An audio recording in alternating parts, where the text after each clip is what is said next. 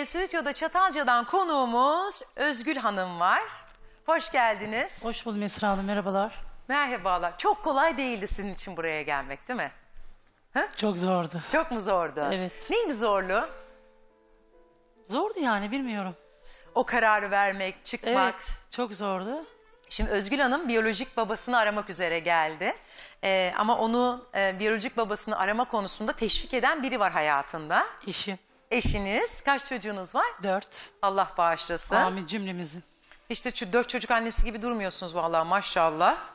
Teşekkür ederim. Ee, 39 yaşında. Evet. Hayatınızda babanızı hiç gördünüz mü? Hiç görmedim. Bilmiyorum yani.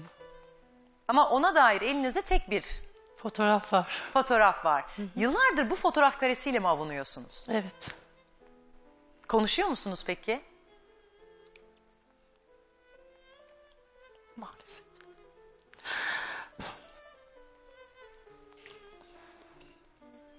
Ama en büyük destekçim eşim.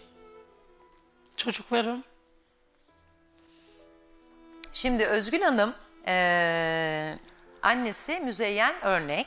Evet. Baba adı Ramazan. Ama soyadına dair herhangi bir bilgisi yok. Sadece bildiği babanın Ramazan Bey'in bu fotoğraftaki kişinin e, bu kişiyi arıyoruz Ramazan Bey'i Üsküplü olduğunu zamanında Bayrampaşa e, Sağmalcılar'da kıraathanesi olduğu bilgisi var. Onun dışında baya- babaya dair herhangi bir bilgi yok.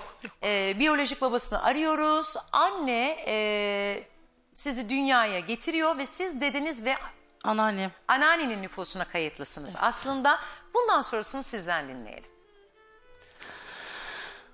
Aslında pek dinlenecek bir şey yok hayatımda. 13 yaşından beri zaten kendim bildim bileli eşimleyim. Çok küçük yaşta. Evet. Peki bebekliğinize gelelim. Anneniz sizi doğuruyor. O zaman babanız, babanız yani biyolojik babanız hayatında mı annenizin? Hayır. Değil. Yok. Anne tek başına doğum yapıyor. Aha, evet. 20 günlük bebekken anneanneme bırakıyor beni. Onlar büyütüyor. Dayılarımla, kuzenlerimle büyüdüm. Aslında anne baba özlemi çekmedim. Çünkü nenemi dedemi annemi bildim. Ondan sonra eşimi tanıdım zaten. Peki e, sizi anneanneyle dede büyütürken anne başka bir yerde. Evet. Annem yoktu hayatımda yani geliyordu. Yani yoktu derken sizi terk mi etti? Yok hayır terk etmedi. Gelip görüyordu. Yani beraberdik hiç ayrılmadık ama yani uzakta yaşıyordu. İş sebebiyle mi? Evet. İş sebebiyle uzaktaydı. Evet. yüzden anneanneniz ve dedeniz büyüttü. Peki Evet. biraz aklınız erip e, sorgulamaya başladığınızda annenize babanızın kim olduğunu sordunuz mu? Defalarca sordum. Ne cevap verdi? Öldü dedi.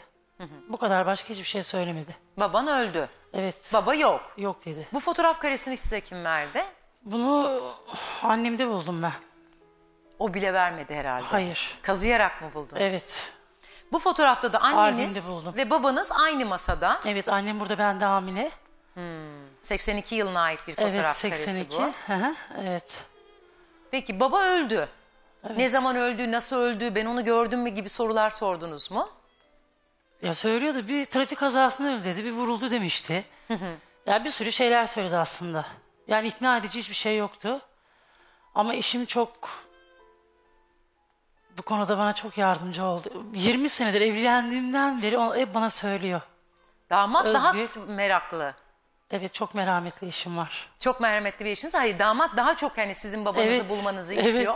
Bu evet. konuda aracılık ediyor. Peki anneannenize, dedenize, babanıza dair sorular sordunuz Onlar mu? yaşlıydı zaten yani öyle pek bir tarafa çıkıp gezen insanlar değildiler ki. Yani pek hayatta şeyleri yoktu. Yoktu. Yani. Peki hani kuzenler, akrabalar. Yok.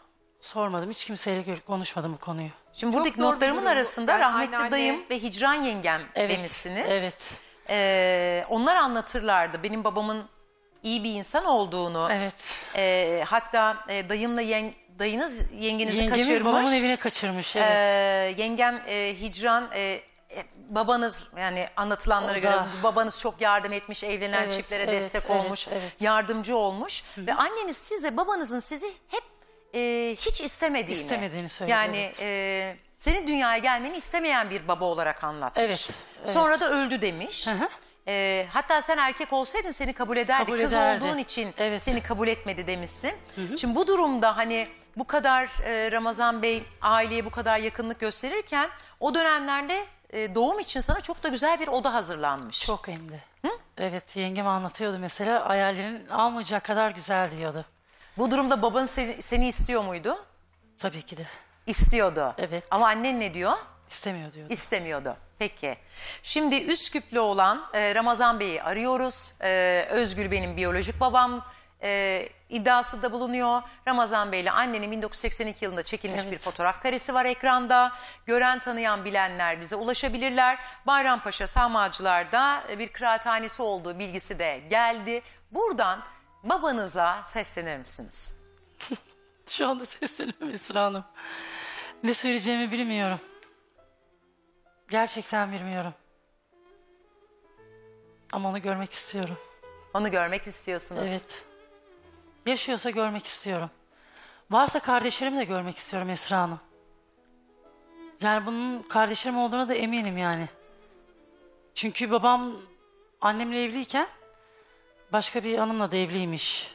Yani bunu söylemişti annem zaten daha öncesinde. Ondan kardeşlerim vardır diye düşünüyorum. Tahmin ediyorum yani.